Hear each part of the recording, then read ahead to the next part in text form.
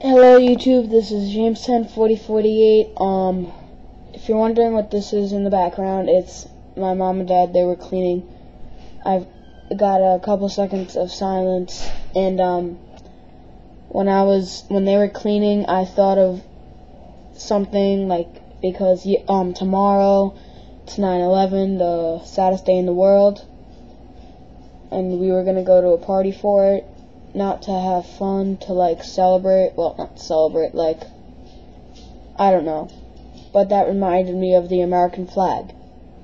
Since I love Legos so much, I decided to make a Lego American flag. It's not too impressive, and it's not impressive to me. Well, it is. And, um, I couldn't get every, every design, like, the um the stripes and I wouldn't be able to fit 50 stars. That would be the one whole plate. Um, so I just wanted to show you guys the American flag I made before I destroy it eventually and make something different with it. And um, I hope you have a peaceful 9-11. Thank you for watching.